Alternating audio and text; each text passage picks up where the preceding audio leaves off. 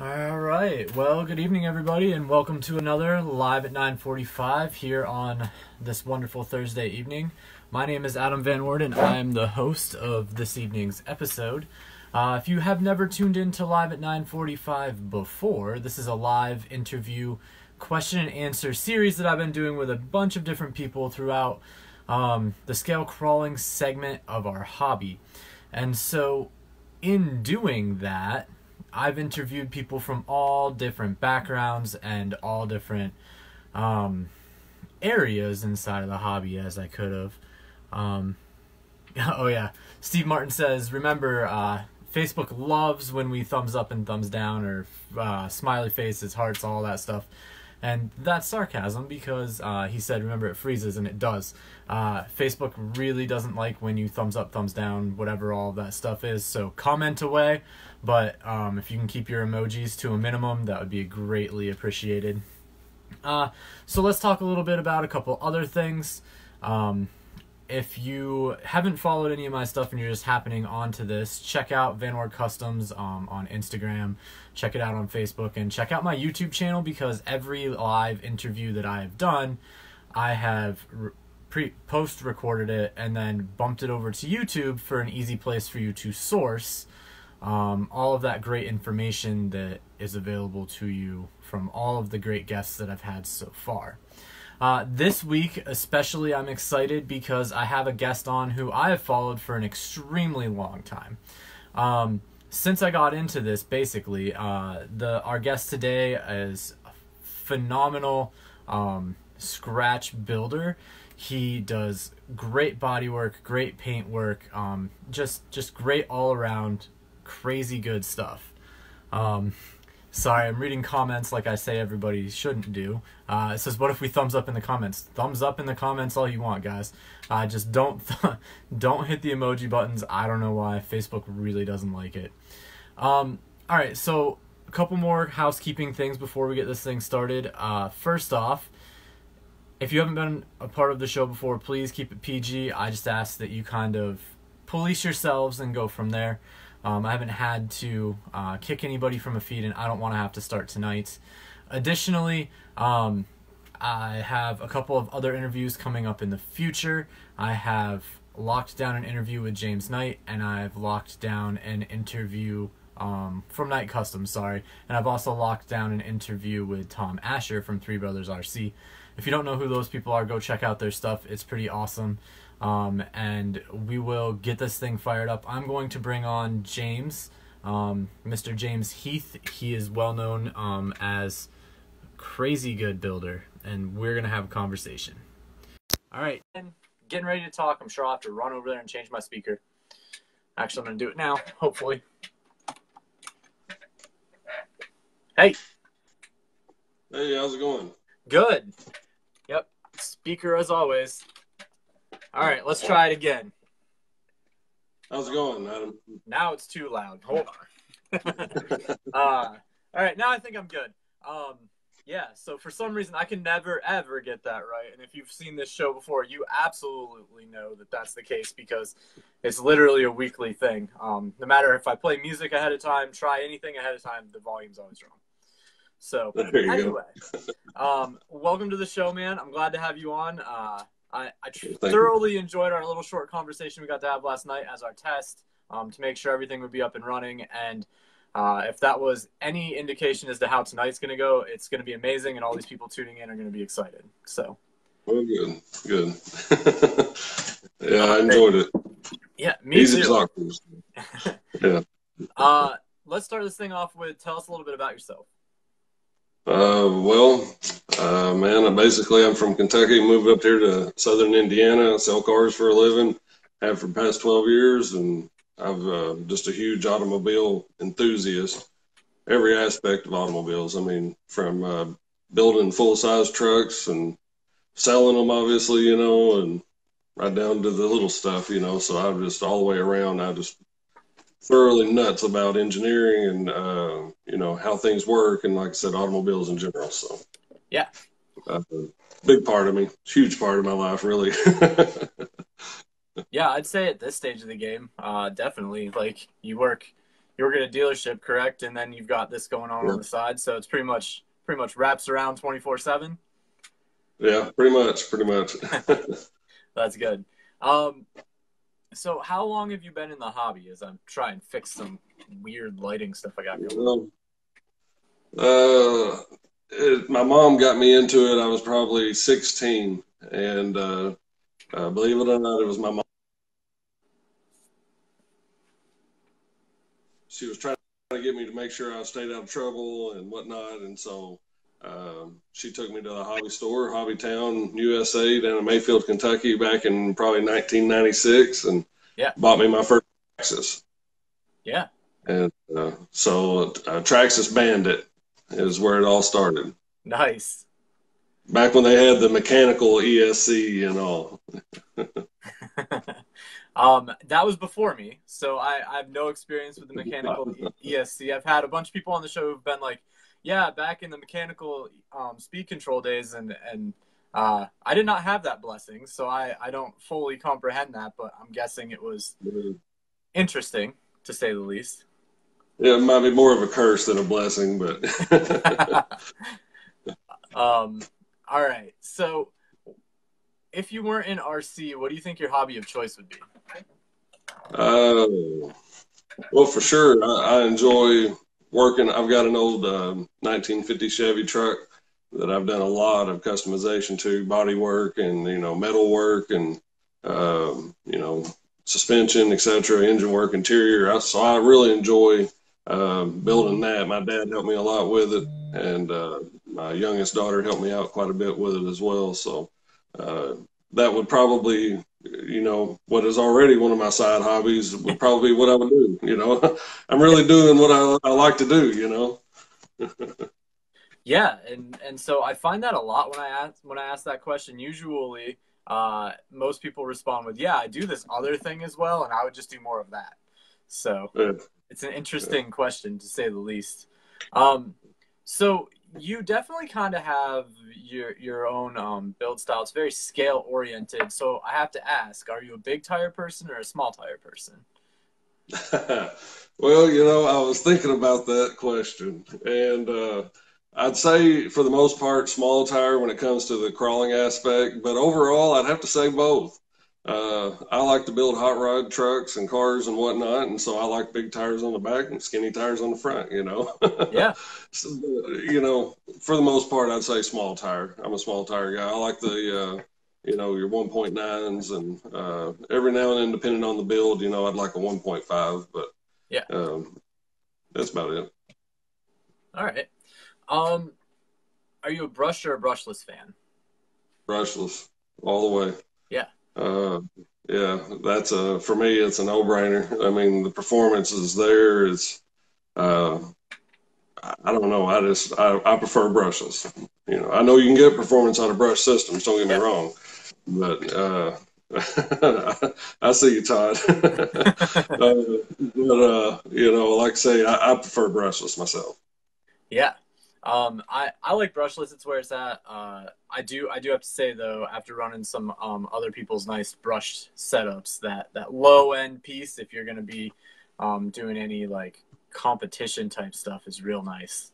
Um, but all my my competition stuff's brushless anyway. So Oh yeah, my my everything that I you know, yeah, I love the brushless setups. I mean, I've got the low end control and, and yet still got the wheel speed, you know, to the Yeah. hell to the point where I've been in on some court, you know, where ran it in some courses where I didn't even didn't even use the winch. You know, the wheel speed would balloon the tires enough to get me out of a bind. You know, so uh, I love uh, I love brushless. So. yeah. Uh, what is your favorite part about RC?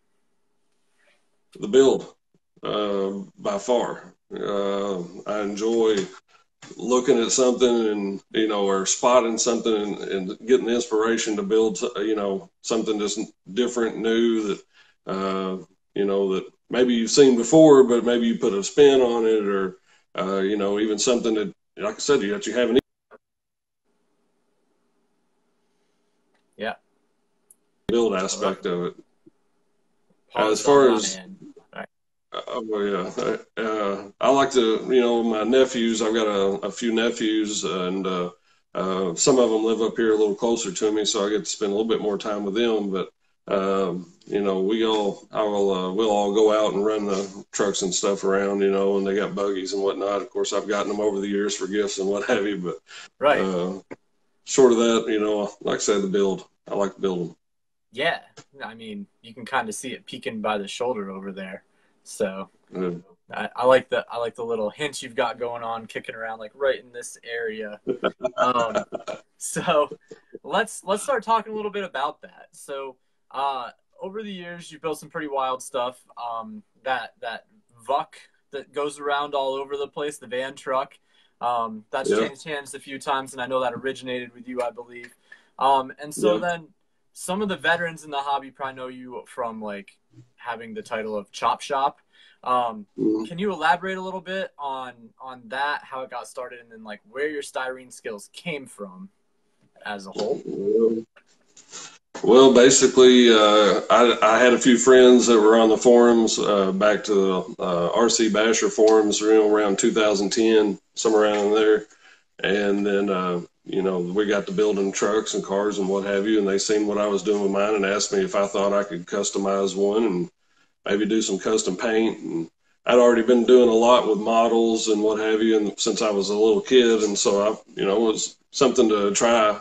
And yeah. so uh, it turns out I was pretty good at it. So then I started having, you know, a couple more requests, and uh, then I found RC Crawler, uh, you know, the forum, yeah. rccrawler.com and uh, found that forum, and then I think I joined it around uh, June of 2011 or something like that, and uh, um, started building them. Yeah, but I'd only built a couple, and then I started to basically I wanted to become a vendor on there, and so I paid my dues, paid my hundred dollars, and um, came up with the Chop Shop as a name. You know, I thought it was yeah. something different and you know cool, and uh, so I started doing body work for people and uh, paint work and uh, you know I'd customize uh, you know I'd take a clodbuster cab and another one and turn it into a crew cab and do drop beds and dove noses dovetails um, gosh I did LED light kits. You know I got a guy that was selling me kits and I was you know uh,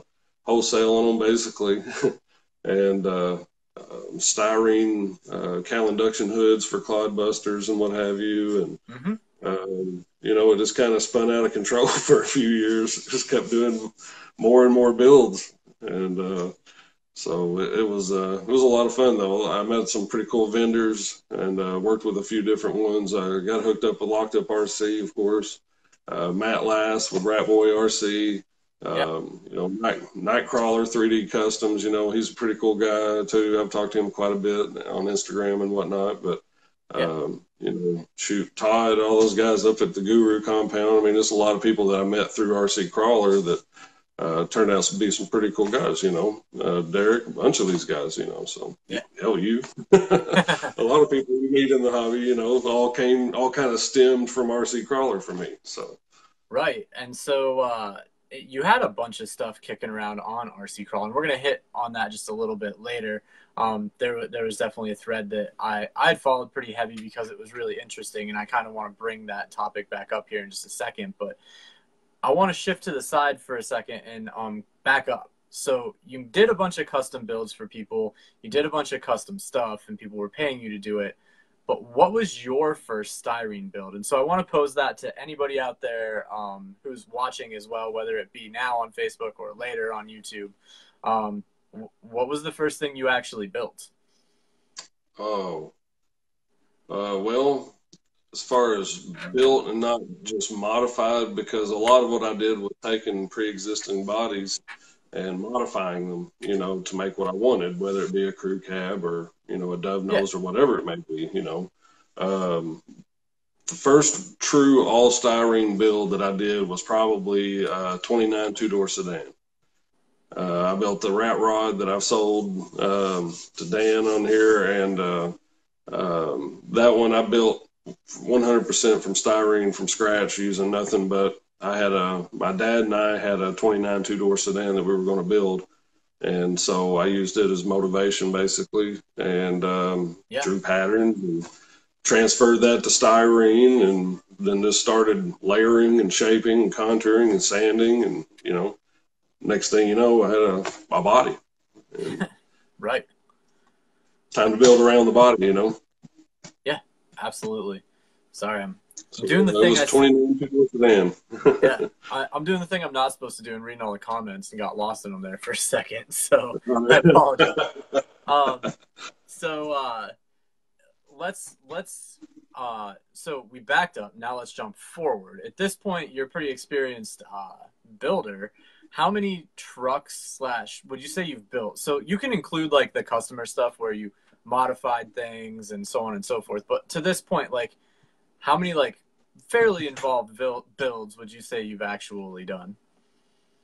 I, you know, uh, uh, that question, I, I went back and kind of counted, uh, you know, to the best that I could. You Right. know, of course, uh, all my threads, I, I went back and tried to see what I could find in my account on uh, RC Crawler, but I can't even find them. But, um, but nonetheless, I, we averaged it up, and it was around anywhere from 145 to 160 in that range, and uh, that was that would include, you know, my own builds, you know, builds that I did for other people. Right. Um, and, that's been since, like I say, running 2010. So, you know, a little over eight years now.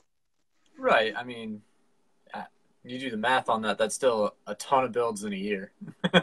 Yeah, well, you, you got to think, you know, when whenever I'm, whenever you get to where you've done one project, when you've done one body so many times, uh, you get quick at it. You know, there's none of this, you know, looking around, head scratching at it, you know, wondering and worrying about cutting these bodies up and all this. You know, you just it it's um, you get the the vision. You just Right. look at it.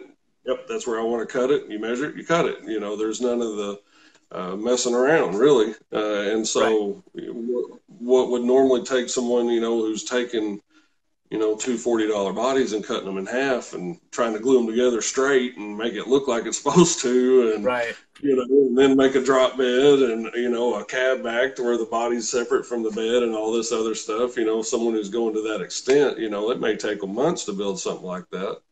Uh, but once you've done it so many times, you know, it gets to where it takes you two weeks. Yeah. No, I I totally get it. Like the the second time you do something, your speed increases. So I'm guessing like the twentieth time you do it, like it's lightning fast.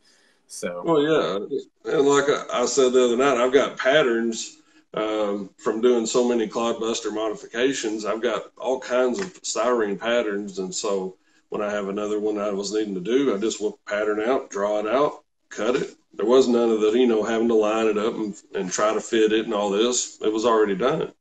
Yeah. So just draw draw the pattern, cut it out, go to town. You know, so it, it really cuts down on time. So the in the years that I was a vendor on there, you know, I cranked a lot out. yeah, no, you. I mean, you must have like that. That's that's a lot of builds. So and that's what it was, Eric. Uh, you know, they're talking about the the threads on a lot of those builds. Uh, whenever I lost my vendor star, because it got to the point where I got burned out on it, it was just you know so Yep. uh, there was just too much of it. Yep. When I got to the point where I got burned out, I dropped my vendor star, and so part of the agreement on RC Crawler Forum, you know, you drop your vendor star and your threads go away. right. Uh, so, you know, all the over the years, the you know all the builds that I did were, you know, the my vendor name, whatever you want to call it, was involved. Those disappeared. So Yeah. Yeah, and I mean, that and photo, that and photo bucket went to the dark side. You know. yeah, it didn't help the forums at all for for any uh, for any intensive purposes there. Uh, No. so let's talk a little bit about um, some tools that you use. Like, do you have some favorite tools? Maybe something that like you found that isn't a standard tool that like everybody would be using. That you're like, I do, I use this thing that's different, but there's a reason. Like, do you know what I'm saying? Oh yeah, I know what you're saying. Uh, let's see.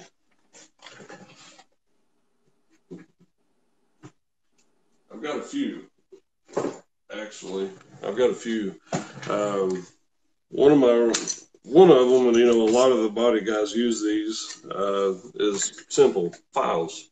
Yeah. You know, you've got you know your round files, needle files, you know what have you, flat files, um, you know, wider files that are a little you know a little more coarse and what have you.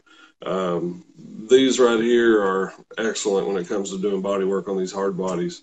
Uh, there's no there's nothing like getting a flat edge, you know, when you're needing a line that's straight, you know, or that you don't want to seem to be seen. Right. Then uh, these files are, you know, excellent when it comes to that. Um, another one is this uh, speedball. It's a speedball cutter. I don't know if you guys can see it or not with the focus, but uh, it's a speedball cutter. And basically, what it is is it's got a little V notch blade in it Mm-hmm. And that V notch blade, whenever you're doing paint and body work on these hard bodies, you get paint down in the lines for the doors and the windows and what have you. Yeah. So you can take this speedball and just slide it right through those lines, and it digs all that paint and dust and every and filler and everything right out of the lines. And uh, on top of that, if you're doing you know a custom styrene build where there are no lines, right, draw your lines out this right here will, will dig out that nice little groove. And, and, and once you get good with these, you know, you can keep it nice, nice and uniform and steer it how you want or what have you, you know, but yeah, it's a speed, it's a speedball cutter is what it is. And like I say, you, you can find these at Hobby Lobby. Mm-hmm. Uh, short of that, the only other thing, these, uh, these little dental picks, these are really, really good. Um, I'll use these if I'm trying to place a small piece of styrene. Yeah. I'll put a touch of glue on the end of these dental picks, just a drop, and touch that styrene with it, and then I can hold it and place it where I need to until it'll sit, you know, to where it stays in place. Yeah. So these, these right here are real handy for getting the little pieces into places where you can't really reach with your big fingers, you know. So. Yeah, I always wonder how other people do that. I used the end of like uh like my X-Acto knife or my my knife. So either yep. either I'd tap it and so it cut in just a touch, or I'd do what you're saying. So.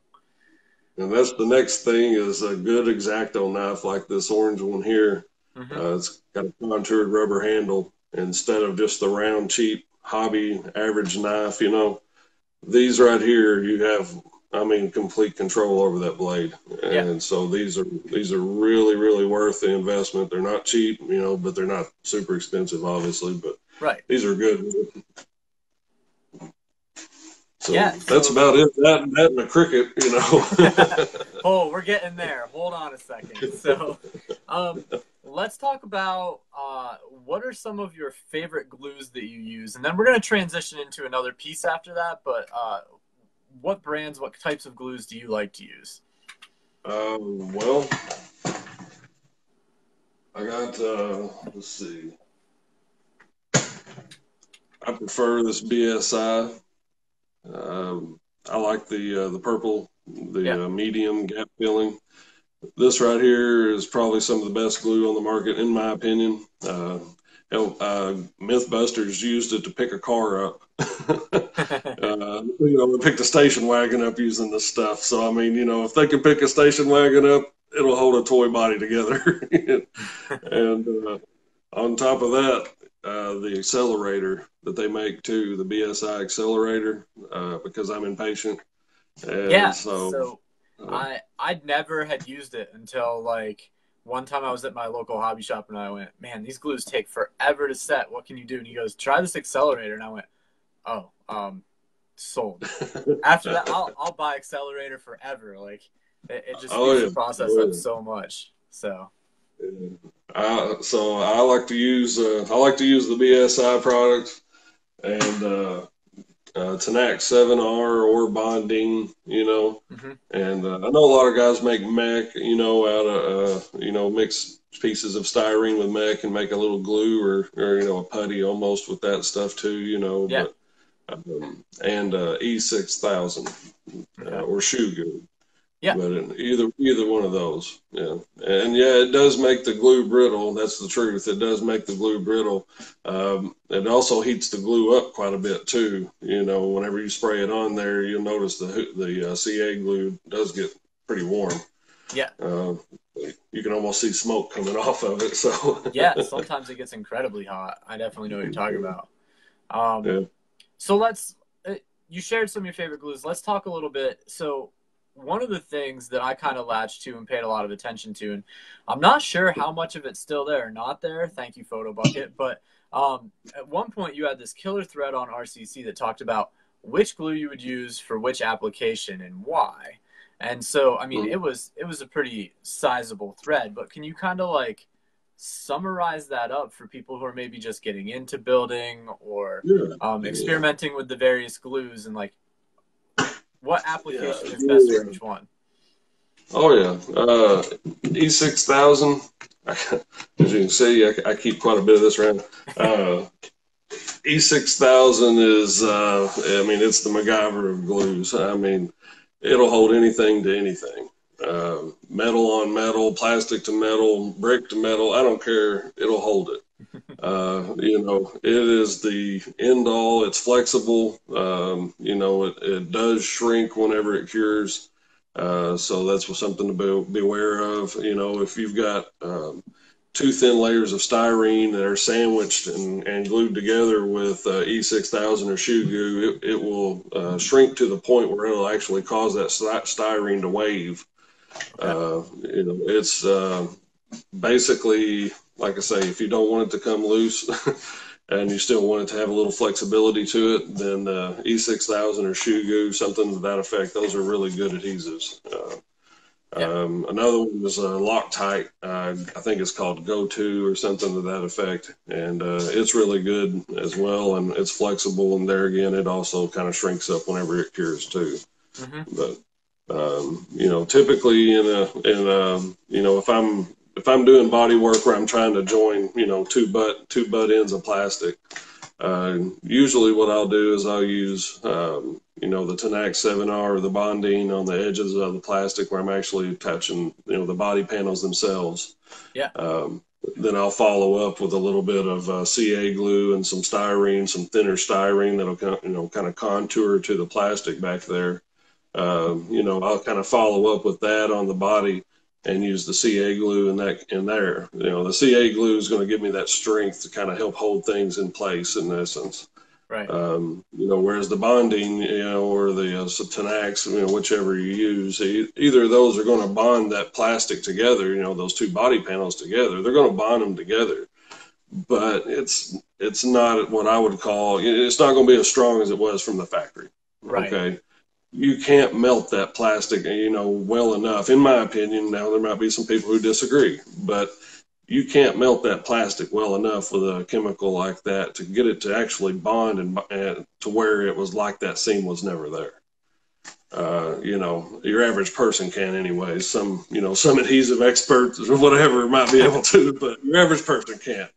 And so so you know on the outer panels you'd use your Bondene or your Tenax 7R then you'd follow up with a little CA glue and your styrene on the back side of the body panel. And then typically I would follow up with just a real thin smear of your uh, E6000 or your uh, shoe goo uh, to around the the edges of that styrene you know on the back side of that seam right there. And that kind of um, caps it all off. You know, if, right. if you are on the trail and you're competing with this hard body, you're on the trail, you know, you've done everything you can to hold that plastic body together.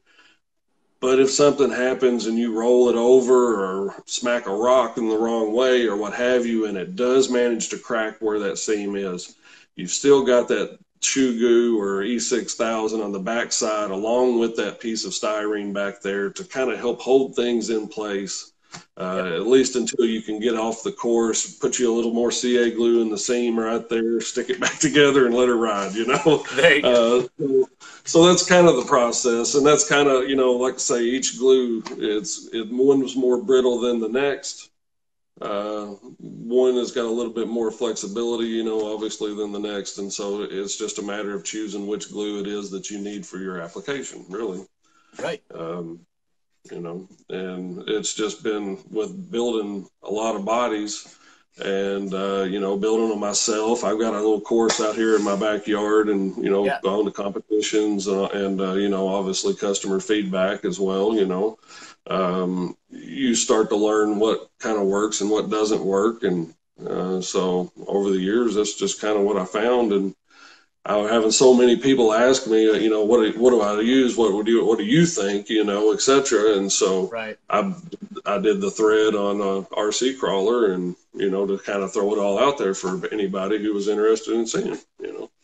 Right, and and it was great because as someone who was starting to build stuff, it was it was an awesome resource to be able to pull from and be like, oh well, hey, like that all makes a lot of sense. That would hold my body together. It's pretty helpful.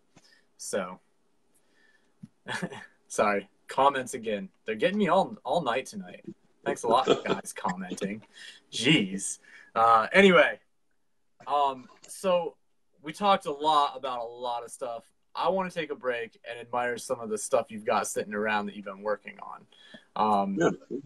That's that's what I'm after. Well, let's see. This is the uh, it's the Apache that I've been working on here. Yeah. You can see some of the detail work on the engine in there and what have you. The dash in place. And, but uh,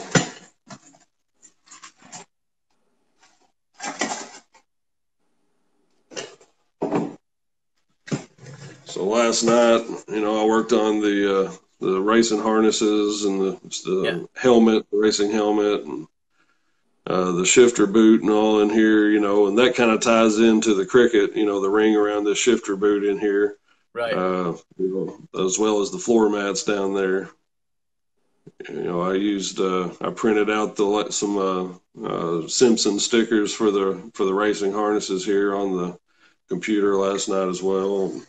Yeah. Uh, so then on the, uh, then on the engine, you know, I've got quite a bit of detail done on it. Yeah, you do. I love it. Uh,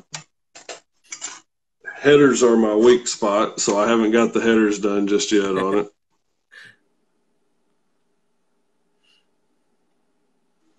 but like I say, the uh, the fan on the the engine here is a, it's a fan off of a uh, uh, Mamba Mons- Mamba Max Pro ESC mm-hmm. cooling fan off of it.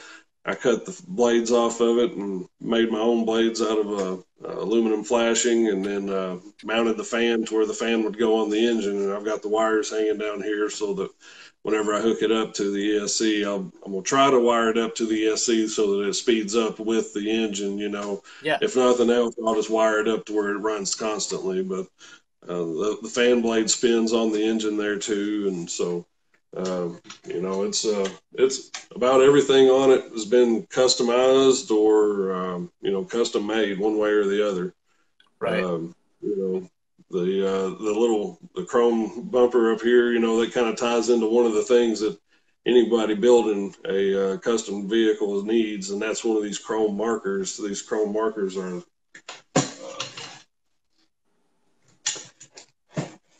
right here, these liquid yeah. chrome markers, these things are nice.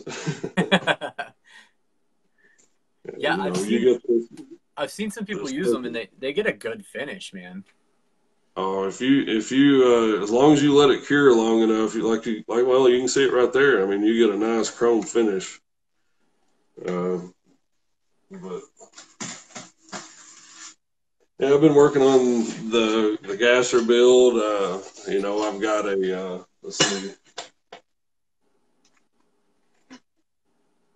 I don't know if you guys will be able to see it or not, but I did a uh, did a matchbox,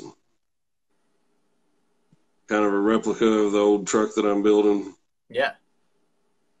So, uh, so I just saw a comment, chrome marker, mind blown.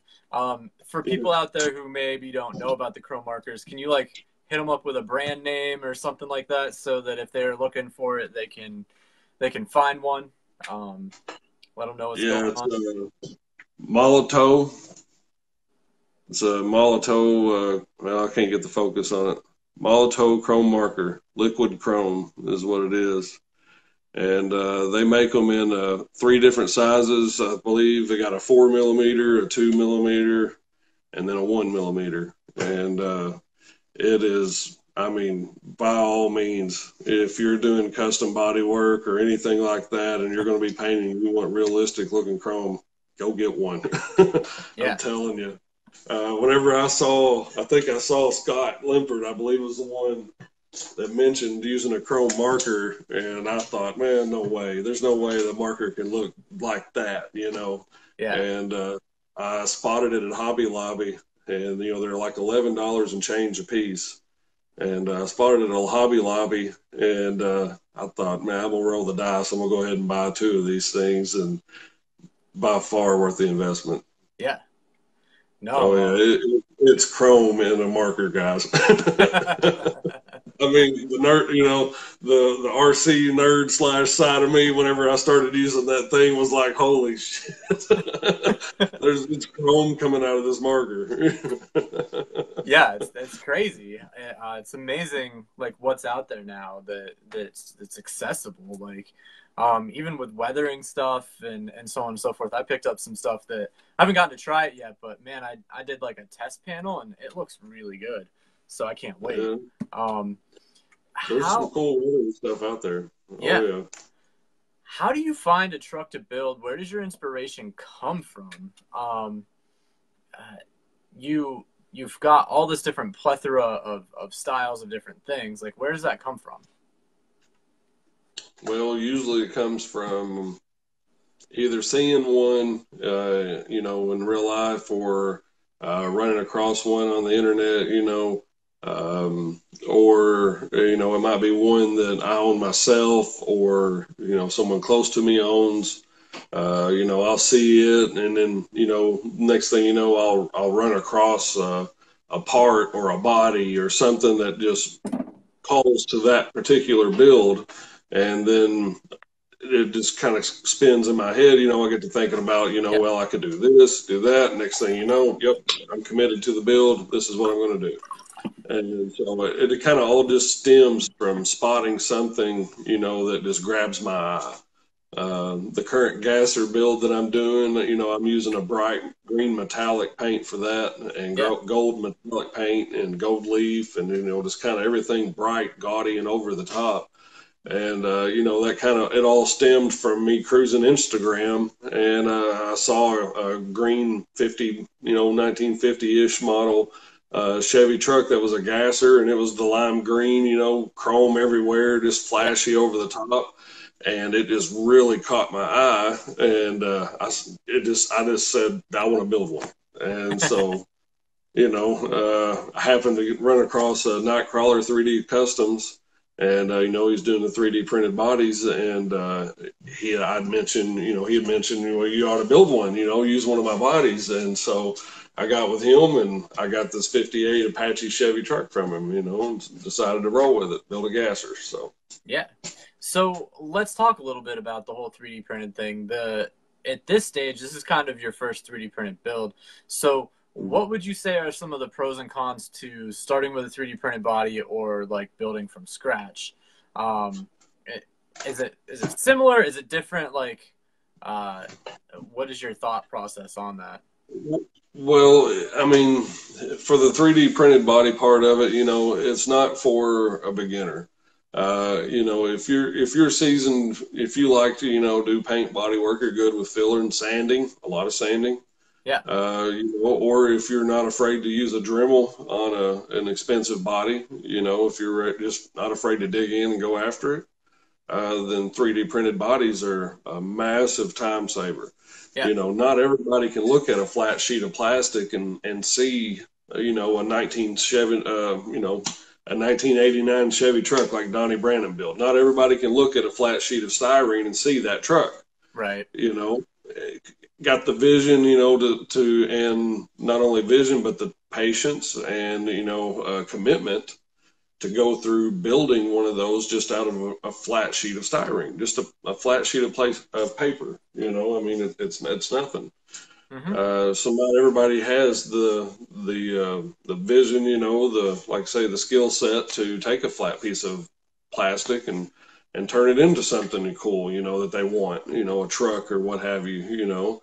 And so, styro, you know, that's where your 3D printed uh, bodies, you know, uh, have a huge advantage, is because your average Joe can buy one of these bodies, and you know, if he's good with a little, uh, with a sanding block or a Dremel or what have you, then you can have something one-off, custom, you know, and uh, you know, so it's 3D uh, printing has changed the hobby uh, so much. I mean, it, it, you know, it really started to get huge around, I, I guess, about 2014, mm-hmm. 2013 in the hobby, somewhere around in that range. You know, it really started to get big. Right. Obviously, it took off before that, you know, but around that time was when it was starting to get more affordable for your average Joe to start selling 3D printed parts.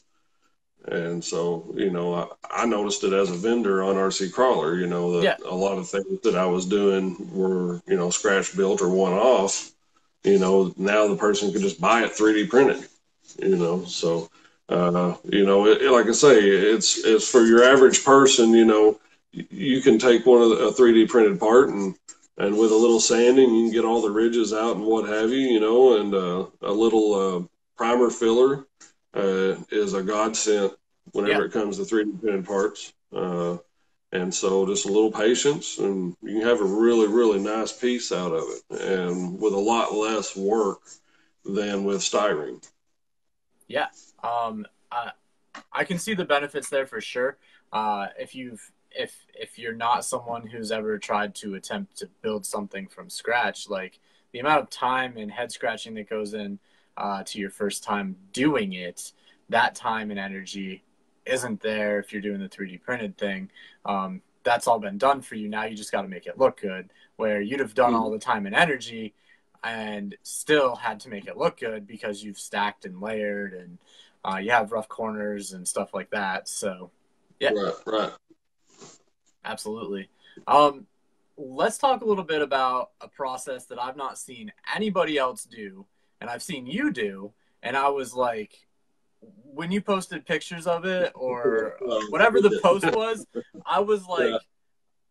I'm going to buy one. Like I, I went and priced up. Like I, so you're printing, you're you're 3D cutting with a Cricut on styrene to do some building. Yeah. Mm-hmm. I, I can't even say more than that. Like what? Where to come from? Well, explain this process. Tell me how to do it so that when I get mine, I can do it. okay. Well, basically, uh, it, it, stemmed from me needing a gasket when I was putting the engine in my old truck. You know, I had to make one instead of buy one just because the price, the prices on them were so high. But uh, basically, you know, I, um, I'll get online, I'll find, uh, you know, whatever truck I'm building, I'll find a picture of that dash. Mm-hmm. And so once I find a picture of that dash, I'll try to take away some of the layers, so to speak, uh, of detail. And so, you know, like uh, on your dash, I would take away the knobs, I would take away the, the actual gauges, but the out, leave the outline, you know, of the, you know, just kind of take these away in my mind. And then if I could on uh, paint, actually, I would just draw out the basic shape of what I wanted that dash to be uh, with the lines. And yeah. so, once I had that drawn out, then I could save that to the Cricut program, you know, Cricut Design Pro. And then uh, I would use that whenever I'd put the, uh, you know, the mat in for your Cricut. You know, you got a, a, green mat that you adhere, yep. you know, whatever your vinyl, fabric, corkboard, cardboard, cardstock, whatever it is that you're using. Right. And so then I just stuck uh, the styrene to it instead of the vinyl or what have you. Uh, you know, it, it, all, it doesn't like, you know, 0.40 uh, but uh, point ten, point uh, you know twenty, you know those are okay for it. And uh, you put it on the heaviest setting. Uh, you don't have to go to custom, you know, but you can go to the heaviest setting on it, and it'll actually uh, the blade will come down. It'll cut once. It'll pop up, come down, and cut once one more time. You know. Yeah. Uh, so it it kind of double scores each each cut. And so uh, I did a piece last night to show you. Awesome so on the uh, on the dash that I did for the uh, 48 Willys. Yeah. Okay. So I, I basically drew the outline of the pieces that I need, and then I put it in the uh, the Cricut design space, and then it gives me a template. It gives me an outline of the dash. Yeah. And so then once I got that, then I'll just start popping more pieces out until I'm left with either, you know, just the outline of the dash. You know, you take out the gauges and all this stuff. Mm-hmm. And then as you see, as you keep going, you know, you keep taking more and more details out, more layers away, if you will. Right. And then so I'll then would stick this once I've got this kind of picked out like I want, you know, for the dash detail. Then I would take this and I would glue it to a thicker sheet of styrene. Mm-hmm. And then obviously, you know, that gives it some strength so that I can work with it. Plus, it gives me that background layer because after I've popped out, you know, once I popped out one detail out of this, that I'm left with, you know, a cavity there. Yeah. And, you know, and so, like I said, it adds one more layer and, uh, you know, styrene, you know, scale building, well, kind of ripped it, but you can kind of get an idea. It creates a, a, a, gap there, if you will, in between those two pieces of styrene. Right. And so whenever you whenever you sandwich it with one from the back, then it creates another layer of detail. Mm-hmm. And so basically, I would just keep doing that. You know, I, I did one layer on it. Well, then I needed the rings that went around the, the light switches, you know. So there again, I went to the Cricut and I pulled up a, a circle or made a ring, you know, and I cut that out on out of styrene on the Cricut. And Yeah. so then I would just take that ring and place it wherever I needed to on the dash. And then as you went, you know, you just take different files, different sanding sticks, uh, which they sell at Hobby Lobby, those sanding sticks. I really like those. Yeah. And uh, you can uh, sand at an angle and kind of contour everything to where you've then got a detailed, multi layered dash. You Yeah. know, so then it's just a matter of, you know, whether it be heating it up uh, to get the bends right or. Uh,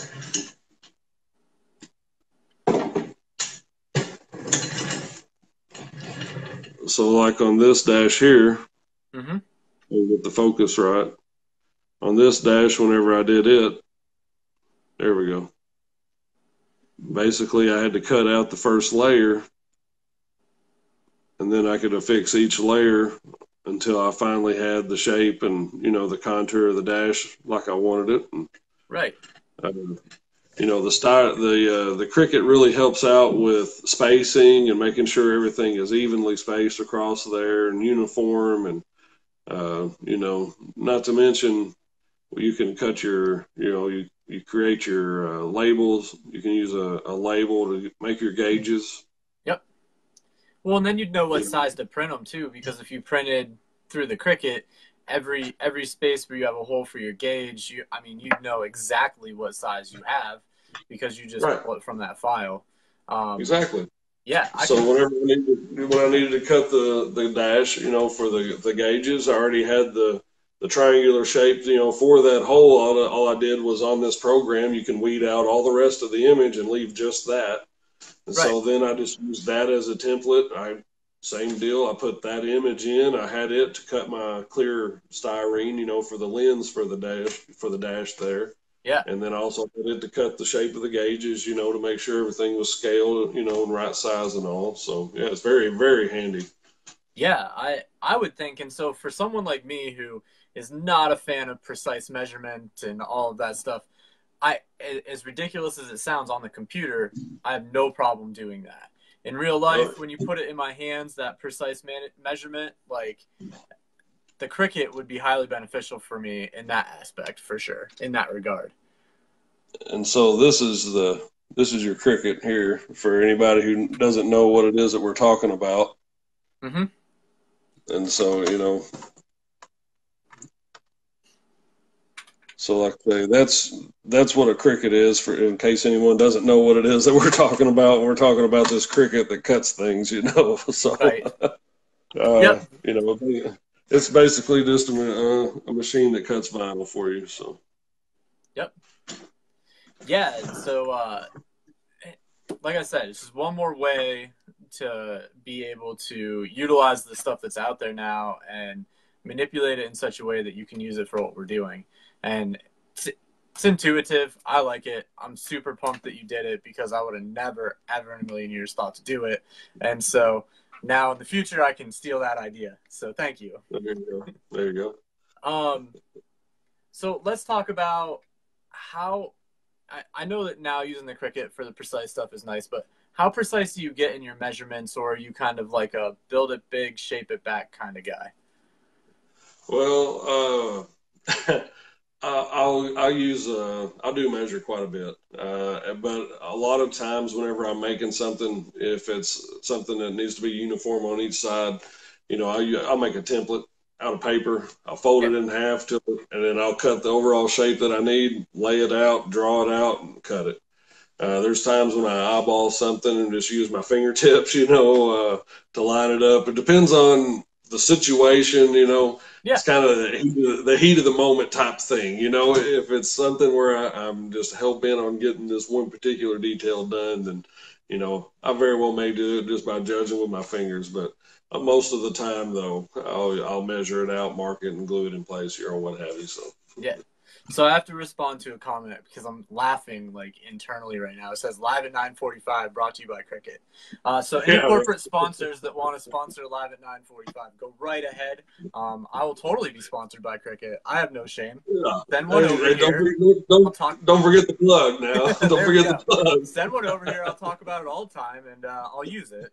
Uh, uh no problems. Um, so anyway, back to what we're talking about here. Uh, what is one thing that you'll never leave off of a scale build? Oh man, uh, the color red. no, Eric will get a kick out of that. He thinks I paint everything red, which I probably I probably do, but uh, no. I, well, yeah. I mean, the color red. I like a little chrome on just about anything I build. You know, I like a little bit of uh, something to pop. Uh, that might be keys in the ignition, which here lately has been my, you know, one thing that I really enjoy. You know, um, you know, I'll throw a pack of cigarettes on the seat. You know, just some kind of odd little just detail, right, off in the blue. You know, and you know that's what I like to do on just about any build that I do. And you know, I like it because whenever you know, uh, um, you know, a family member or a personal friend or what have you sees it, or someone online, you know, sees it and it, catches their eye. You know, that little detail catches their eye. You know, uh, you know, and it just, you know, for some people, you know, it, it makes them smile, it makes them laugh. You know, and so uh, it, I like that. And so, you know, and, and uh, like I've got a I've got a K5 Bronco build back here, uh, one that I've had for several years now and uh, there's you know there's some pieces of trash in the floorboard empty you know and each one actually uh, each one kind of ties to someone in the family that you know uh, uh it's funny because you know they always leave trash in the car and they always leave trash in my truck and stuff you know when I get onto them and and so you know with my daughter it's usually candy wrappers my mother-in-law leave cans or what have you you know I mean it's just this is how it goes, you know. But uh, so you know, in in that truck in that K5 Blazer, you know, there's a you know I've got a little miniature Reese's package rotted up in the floorboard, and a you know an empty Coke bottle in the floorboard, you know, or a, you know an open ashtray with a, a cigarette in there with a little smoke coming off of it. You know, you use cotton. Uh, yeah. you know, to make a smoke effect off of it, you know, and so things like that. That's the type of thing that I'd say I wouldn't be able to leave off of a, of a scale build you know. Right. Yeah. No, those are the tiny intricate details. I've never ever gotten that far. Um, I'm lucky if I can like, I'm lucky if it has a dash and a whole interior and like um, a little bit of scale going on. Uh, so let's. Uh, I've seen a bunch of stuff like I love the K5. I love the K5. You talked about it and pointed behind you somewhere. Do you have the availability to kind of pull it down, talk about it real quick, or yeah, yeah. All right.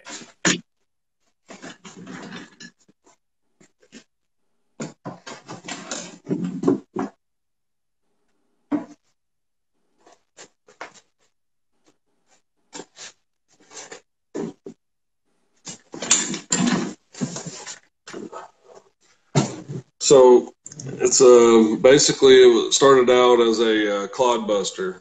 Yeah. And uh, I filled in the hood on it, filled in the roof on it, cut out the whole bed area, cut out the back of the cab. Uh, I used a dash from Jeff Daughtry and uh, put that in there and backlit the gauges and added a key, added keys in the ignition, you know, ashtray with a cigarette in it. Yeah. Um, the trash and the floorboard, of course.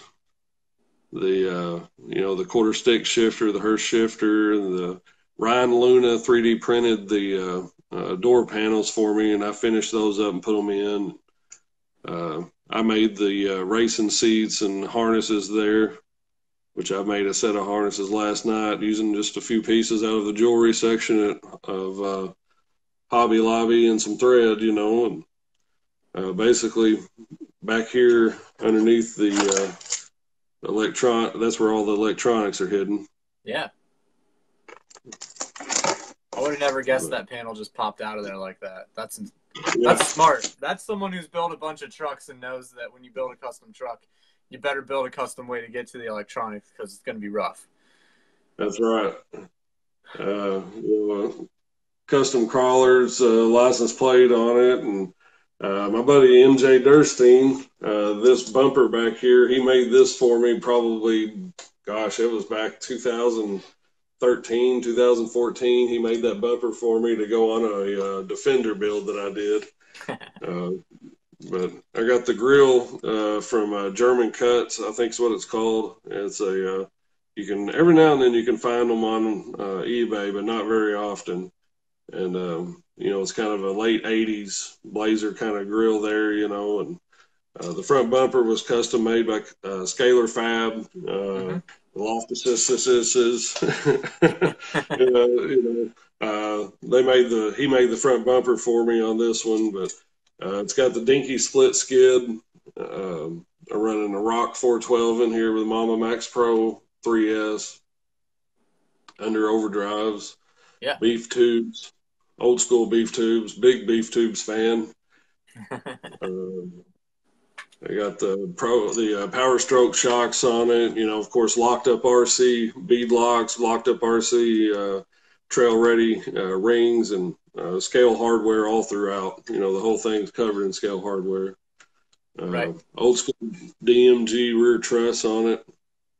Uh, I cut the rear axle housing out and then uh, used an AR60 axle housing uh, diff cover for it. That's an interesting. So, that's a nice touch, man. That that yeah. little like that little piece that going that extra mile. You didn't have to cut it out, but you did it anyway. So. Oh yeah. Yeah. Every, all the lights light up on it. I cut the uh, the tail lights. I cut them out of the Clodbuster body and uh, use some clear tail light lenses in there and backlit them with LEDs, of course, you know, so all the tail lights lined up on it. And uh, it was a really nice high gloss finish on it. And then as I was driving it, you know, I kept getting scratches and dings and what have you here and there. And so as I started getting scratches, I got this, uh, it's this uh, mixture from, I think it's like uh, Great Pyramids. Uh, it's a rusting effect. And okay. so as I was getting the scratches in it, I was putting a little bit of this rust effect stuff in each little scratch, you know, and then it would rust. And so then it started to look like, you know, little scratches and little surface rust and whatnot from over the, you know, from the time on the trail. So, right. Uh, but yeah, this is uh, this one right here. Is uh, I'm not sure about uh, today's SORRCA rules, but at the time when I built this and leading up to a few years ago, it was Class One SORRCA legal and uh, the, one time that I did run this one at a competition was up in Pennsylvania and at the, uh, the East Coast Scale Challenge. Mm-hmm. And uh, that was, I think, like maybe a week, two weeks after I finished built it, uh, building it. Uh, I ran it up there, and, yeah. Uh, and it was, I think it was like 11th or 12th place I took up there using this truck. So that was a, you know, pretty what I felt was pretty dang impressive with it with the caliber of competition that it is, you know, and the oh, first time of really getting this on the rocks. But uh, so yeah, this is uh, uh, Mike Wiegand, uh, Speed Wiegand. Uh, several years ago, he made this little light bar. It's really really ultra thin. And uh, so then I use some JK, you know, VP mounts to to put the light bar on there. No, I dig it. That's a good look. Fire stick from Super Shafty. Uh, got Super Shafty uh, gears, or not gears, but top shafts inside the Dinky uh, transfer case, and all. That's all Super Shafty, and I've got it geared up pretty tall. Uh, I've got a lot of low end control with it, a lot of low end control, but uh, it's still got enough wheel speed that it'll catch air running across the yard for sure. There you go. Oh, it'll pull a wheelie and flip over on its roof, but you know, uh, so uh, I'm a fan of wheel speed, but Yeah. uh, so yep. I'm right there with you, man. Gotta have some wheel speed. So I built that one, and then I got into minis. So then I turned around and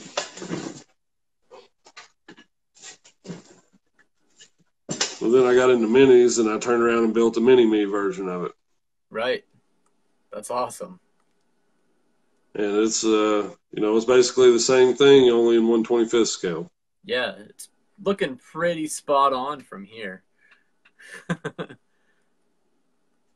You know the the cargo. Well, it's kind of hard to take out on this one, but the cargo area comes out the same way to hold the battery underneath, and Yeah. Um, you know, it's obviously a little hard to match up the wheels and whatnot. They don't make them for that size from locked up, unfortunately. But, but uh, so yeah, then I turned around and made this little replica of the uh, of the K5 there as well, Yeah. Nice. and all the ga- the the day the yeah, blah, I'll get it out in a minute. The gauges on the dash, the shifter, all that, you know, the uh, the CB radio that's in here, the light bar up here on the top of it, every bit of it all lights up. All the all the lights on it all work on this one as well, uh, just like they do on the one tenth scale. Um, Yeah. So uh, it was a, a labor of love. Yeah, I was gonna say, man, that's that's small. By the time you do all of that and try and put all that electro, all those electronics in there, and make all that stuff work, that's that's a tight package. So, oh yeah, oh yeah, yeah. um, so I have to ask, who are some of your influences in the scale crawling segment of our hobby? And if you were picking someone to be on the show, who would you pick? Oh man. Uh Scott Limpert is a beast. Yeah, he never Uh, stops. Like, I'm just gonna throw it out there. he is a beast. Uh, you know, I mean, just about anything he builds is awesome. Uh, you know, um, noob, of course. You know, anything noob builds is awesome as well.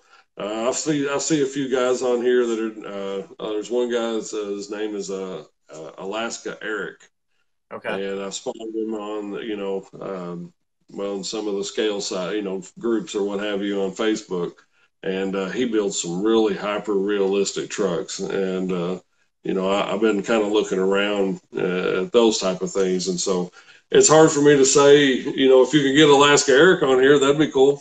Well, I wrote the name down. I haven't run across okay, yet. you know, so- good- good- he spells it E R Y K. I can tell you that much. uh, you know, like I said, uh, some of the I, I see a lot of photos and whatnot of trucks that he's built, and they are just hyper realistic. yeah, Um, uh, and, you know, of course, Scott. You know, get him on here again. No, I- and you know, I- I'm- I'm not opposed to bringing people back, and and so that's one of the things that as as it's gone on, like, um, it, I I I genuinely am looking for people to bring on, and I'll send a message to anyone. I can't guarantee that they're willing to come on and and chat, but um, I, I don't have any problem sending messages to people and seeing if they want to join. So there you go. so, all right. Um, what is your favorite build out there that has come from someone else? It's not yours. It's just out there floating around the internet. Uh, what's the one that's caught your eye? Uh, there's two. Uh, one of them is uh, Noob. Uh, he is working on a 3D printed uh, Toyota Pathfinder right now, and it is uh, Toyota blue, and he is just doing an, a beautiful work with the body work on that and the paint on it. It, it is just stunning. Yeah. Uh, but then uh, also on top of that, uh, Donnie Branham with his uh, his Chevy truck. You know that that old late that late '80s Chevy truck. You know, I, that thing has just turned out really, really cool. Yeah, And uh, the power wagon that he's got going on right now, you know, I, I've got a soft spot for. I, you know, I'm a huge Chevy fan through and through. Uh, but that's that power wagon's pretty tough too. You know, Um, but you know, I, have seen a few. You know, Scott Limpert, man, he absolutely kills it with his uh, with his builds and has for years. Yeah. And uh, so, you know, like I say, it's tough to really say. Those guys right there are really, really doing some nice work. Yeah. Um, and, the, and the tri-van that you did, you know, the tri-van that you did, you know, that thing turned out pretty damn cool too. That's not something you see all the time, you know. So yeah, it's it's different. That's that's my style. It's just got, I can't build something everybody else has. I I I don't want to. Um, and so uh, the one thing I don't do though that I wish I did more of is the more like hyper scale realistic stuff, like putting those tiny little touches in. Um, I just get so impatient at the end. Like if I if I throw a build together, I'm like, that looks good. Let's take some pictures and run it. Like I, I can't I can't wait. I can't wait for the little details. So yeah, you, you got to man. It's uh, you, you, get to where you see it, what I call see and scale. Yeah. And so when you're walking in a store, you know, and you see a little, you know, if you're going for some glue or something, and, and you spot a little, you know, a little piece of something in the jewelry section that looks like a door handle. Yeah. You know, then that's that's your snowball. You know, right there, it just started. You know, your next thing you know, you're putting a little chrome door handle on there, and, and, you're thinking, well, I could probably do one on the inside. That would look pretty cool too, you know. And so now, boom, well, now I need a door panel if I'm going to do a door handle. So it, it just snowballs, and the next thing you know, just a simple dash isn't enough. It's got to be backlit. It's you know, and then it needs keys, or it's you know it just keeps evolving until next thing you know, what would you know, you build a truck and call it quits in a few months Next thing you know, it's a year and a half. you know, you, you spend, you know, several, you know, 10, 12 hour nights staying up all night working on something just because you keep thinking, well, this next level, you know, this one more detail, you know, uh, you know, this right here would look cool, and oh, well, this is dry, and I'm going to do this, and you know, so yeah, um, it snowballs. no, and I get it, and I understand, and I I'd love to, but man, recently, like in the build department, things just haven't haven't been coming together for me. I tear them apart. I get ready. I have good intentions, and then they just sit. So yeah. one of these times, I'm gonna put everything back together and make a nice build. I've got I've got a couple of really interesting projects waiting in the wings, but they're not they're not together by any stretch of the imagination. So we'll see what happens. Um, so let's talk about budget stuff. You, I mean, you say like I, when I look at your gasser, there there's so many details. There's so many one-off things. There's so many things that you've purchased and then manipulated to be something else. Do you have a budget, or how do you approach that part of it? Basically, if I can't if I can't buy it, uh, if I can't buy it without having to worry about pulling out of the family budget, so to speak, you know, yeah. Um, if I can't buy it without having to worry about pulling out of that, I'll paint something. You know, I'll get a job. I, right now, I've got a body I'm fixing to do where I'm make turning an RC Blazer, you know, RC four wheel drive Blazer into just a short bed truck and doing some paint work on it. You know, to get a little extra funds to apply towards this gasser build that I'm doing right now. You know, right. Um, basically the budget is as cheap as I possibly can. If I can't buy it at what I think is a reasonable price, then I'm going to do something where I can afford to buy it. If it's something that I need that I can't seem to find, or you know, like for the front tires or the back tires, or well, pretty much anything else on this gasser build, you know, anything that I've needed on it, I haven't been able. You know, you can't just buy uh, right. You know, I need I need a set of gasser tires for a 10 scale RC. You, you can't buy that, you know, so you have to make it. And right. so through trial and error and a lot of tires thrown in the trash, eventually, you know, I get to where I can cut tires into and widen them or narrow them or what have you, you know, and, and manipulate them to be what I need it to be. Right. Uh, and so a lot of the budget comes into play when, you know, if I've got something laying around, that's my go-to. I've got I've got a big work area down here that we built, you know, just for this hobby. Yeah. And I've got a lot of drawers of, uh, you know, scale items, you know, parts from models, you know, things that my mother-in-law's given me from yard sales that she drags in uh, yep. to, you know, if I spot something that, you know, I think's cool at a flea market or what have you, you know, it goes in one of these drawers. And so if I need a, a cool part for a custom build or, you know, or if I need something that's one off, I'll pull in my resources. I'll look in my drawers, see what I've got. If I've got something I can modify to make what I want, that's what I'm going to do.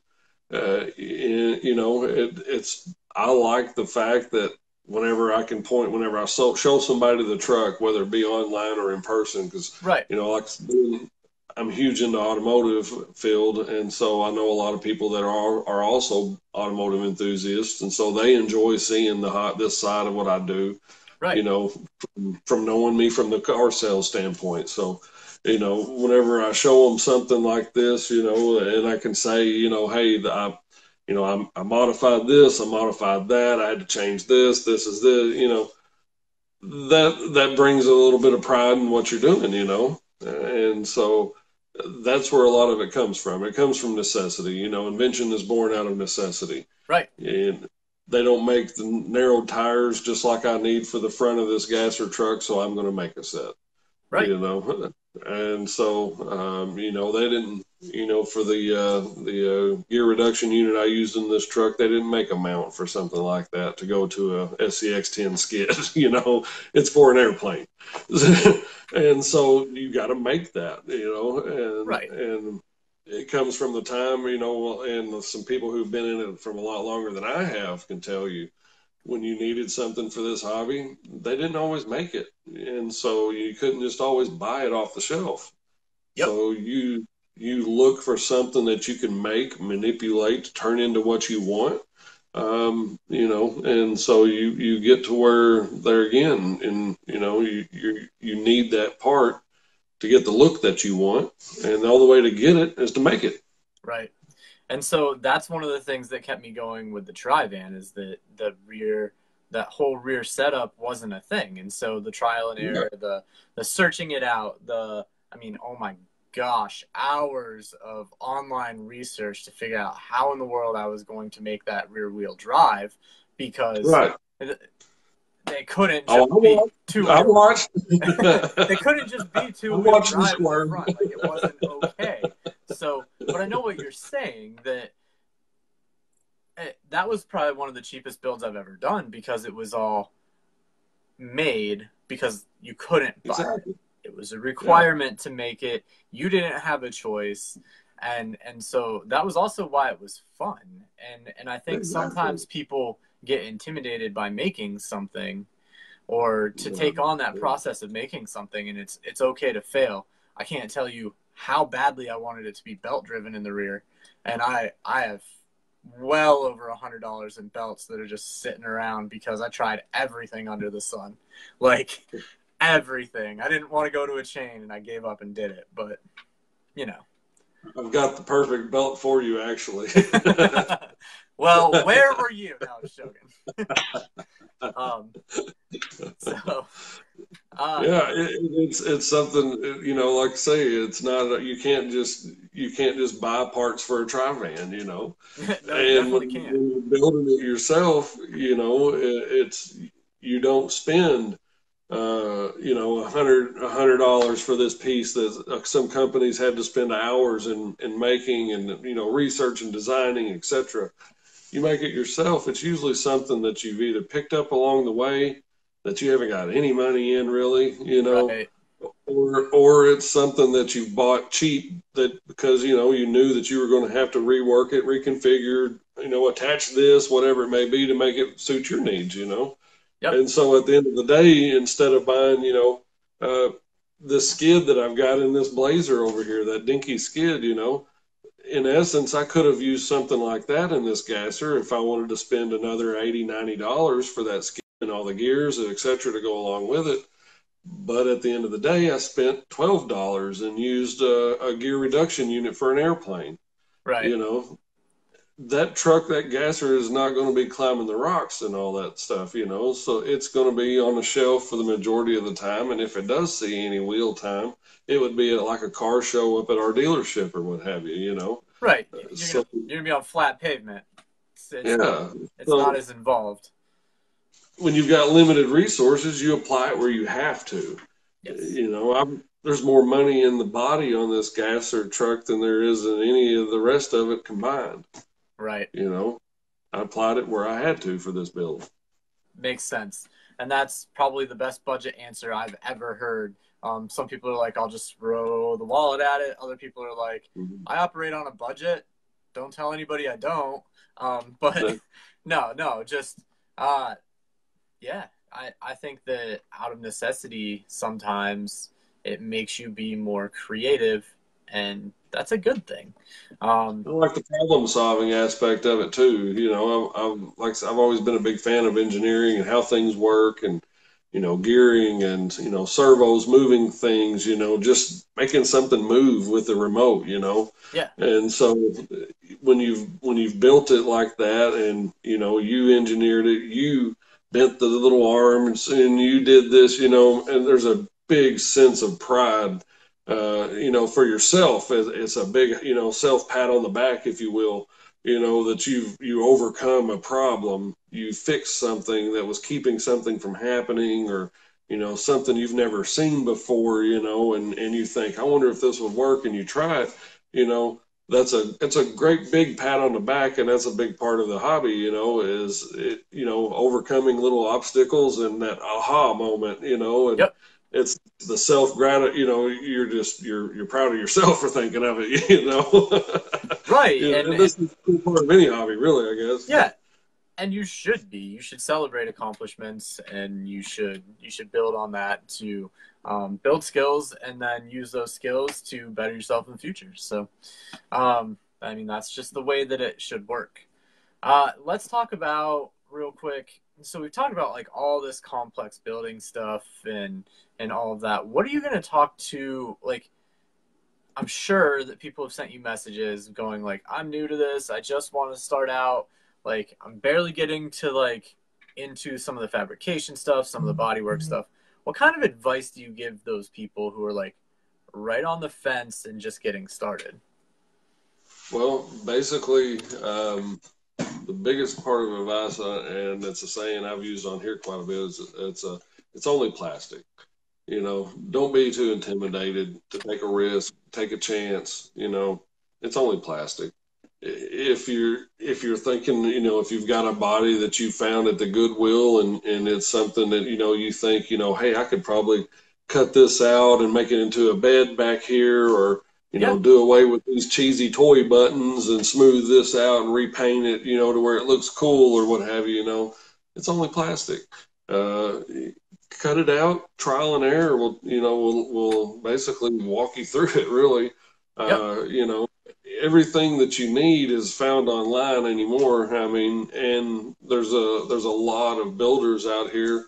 Uh, you know, Donnie, uh, Matt Last, myself, you know, um, you know, help you. There's a lot of people on here that have, that build vehicles that you know that kind of are. I don't want to say, you know, that a lot of people see them or they're in front of a lot of people or what have you. But there's some people that are online on here that get in front of some other, you know, quite a few people that all you got to do is contact them and say, hey, you know, how do you do this? How do you? And most people are are so uh, in love with the hobby, if you will, that yeah, you, you're happy to share. You know, and you know, like whenever uh, Donnie Branham and uh, Matt Lass, you know, whenever uh, uh several years back, you know, they were uh, sending me messages on uh, the Chop Shop group I've got here on Facebook. They, you know, shoot me a message on there. Hey, I'm trying to do this, but it's not turning out right. What do you think? You know, what would you do? Or you know, what should I do, etc.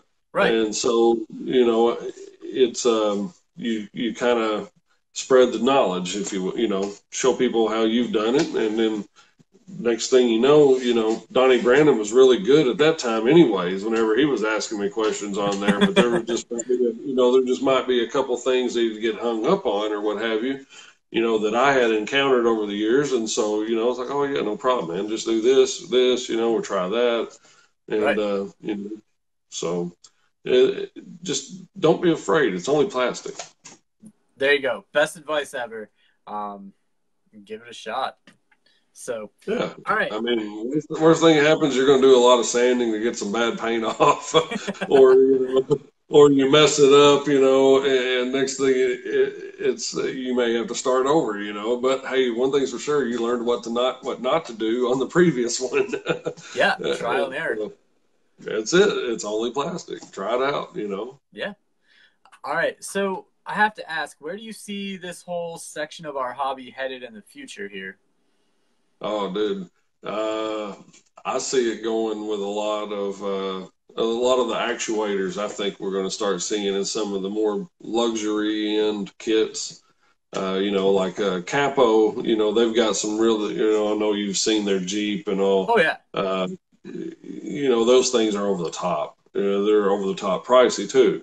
But you know, RC four wheel drive has got some really really cool heavy equipment that they sell. You know, so the hobby is going into electronics and linear actuators and you know uh, belt driven and you know um, subatomic micro switches. You know, Overkill RC back in like 2000 and I don't know 12 something like that. They were making these super subatomic auto, little bitty toggle switches, you know, and, and, you just had to use your fingernails to operate them. And I had one in a 48 Willys project that Eric's got now. Yeah. And uh, so, I mean, the the hobby's going to what I think is going to be a lot of autonomous. Um, you know, obviously being able to, you know, your smartphone interaction, driving with your smartphone, but I think it'll also lead into being able to control a lot of different features on the vehicles with your uh, with multiple channels on your RC, you know, uh, with your receiver yeah. uh, through your smartphones. You know, being able to open doors, being able to, you know, smoke out of the exhaust, you know, lights, horns, etc.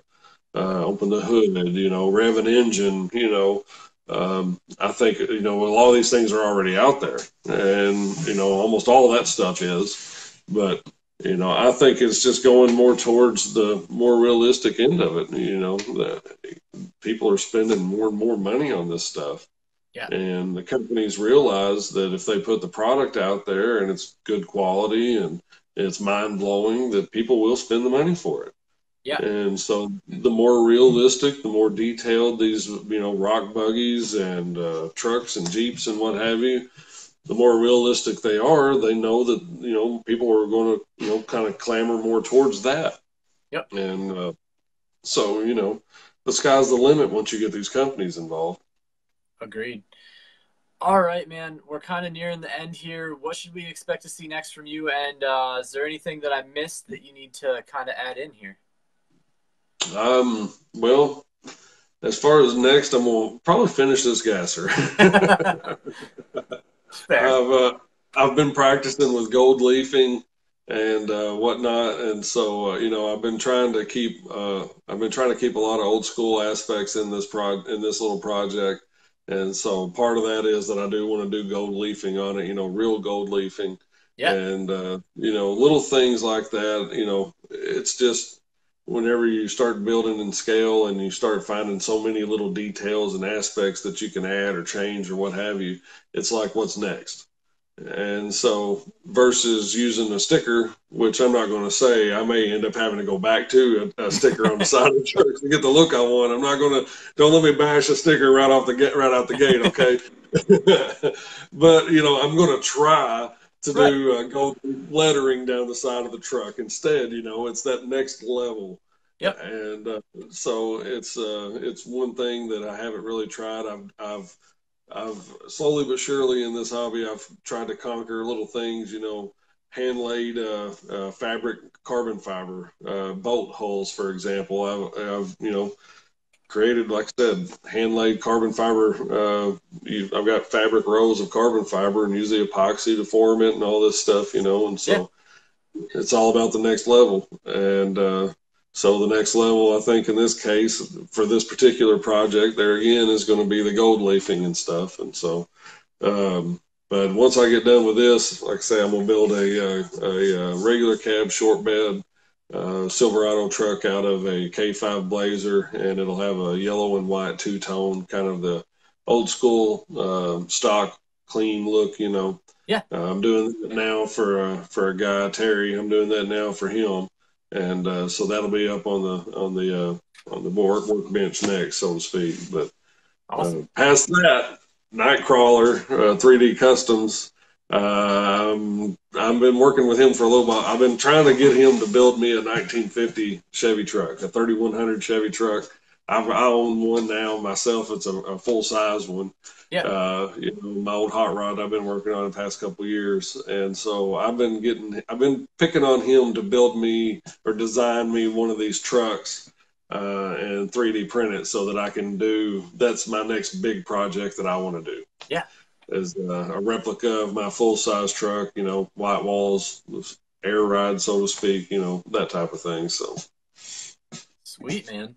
Uh, I can't wait to see it. I, you know, I'll be following. I, I've been following for a long time. So, Mhm. uh, all right. Well, thanks for being on. I had a blast having this conversation. Um, I'm sure that No, people are going to gain some some good some good info from it. Uh, and uh, hopefully we'll we'll get to do this again here in the future sometime. So, Oh yeah, that'll be fun. all right. Well, I'm gonna let you go and close the show out and go from there. All right, all right. We'll see you later. Yep. See ya. All right. Well, that's gonna do it for this episode of Live at 9:45. I apologize for the weirdness that's going on with my lighting. Like I didn't change anything. I have no idea what's going on. Anyway, back to what's really um, happening here. Check out my stuff on Instagram, VanOrd Customs. Um, check out uh, VanOrd Customs on Facebook. Check out my website, vanordcustoms.com. And go over to YouTube and watch all of these past videos if you haven't seen them already. 100% worth your time. There have been some great interviews, great information from some awesome guys who are involved in this hobby. Uh, until next time, when I'm going to bring some more people on the show next week at live at 9:45. Uh, I just want to say thank you guys for all tuning, all for tuning in. Uh, I appreciate each and every view that goes on, everybody who comes in, everybody who comments. I'm gonna go back through and try and answer some of those comments. And if you're watching this later on YouTube, leave me a comment. Um, let me know what you thought. Let me know if you have any questions or anything like that. Uh, but to end things up, summarize some stuff. Uh, if it wasn't for all of you guys tuning in, I, I wouldn't be doing this, and it would just be me talking to a camera, and that is incredibly boring. No one wants to watch that. So until next time, I'll catch you guys all next week. Have a great night.